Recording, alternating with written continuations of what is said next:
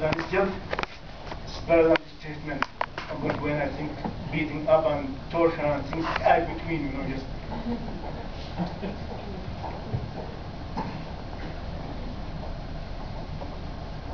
and even one time, just like he came to me without any reason, and he like pointing his finger to my face without any reason. Why you talk to my receptionist this way? Why you do that for my employees?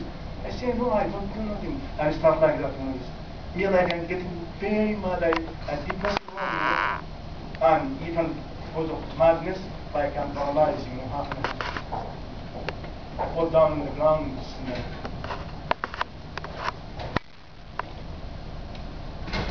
This is continue like that still There is a torture in the Canadian embassy. It is it done on me mentally, not physically, but mentally. They hit me too much.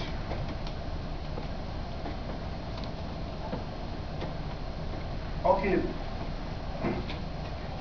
But for this, my lawyer. Sometimes I receive calls from them. Actually, daily they, they call me in the embassy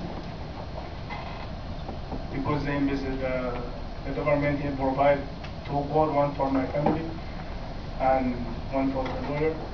It's uh, like five days a week.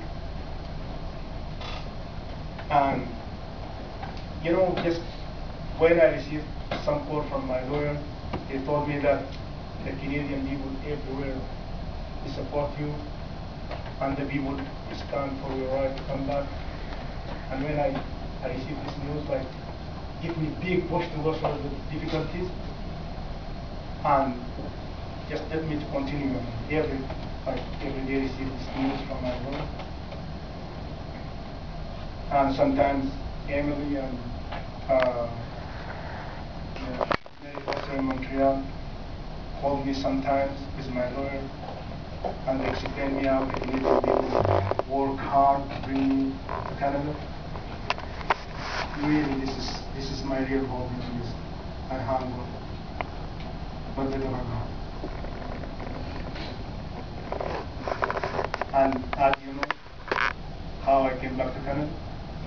Because the government of Canada, shame on the government of Canada, enforced by the federal court to bring a citizen back to his home. And that's the way I came back to Canada. By force, to force government to bring citizen. And with the support of Canadian people.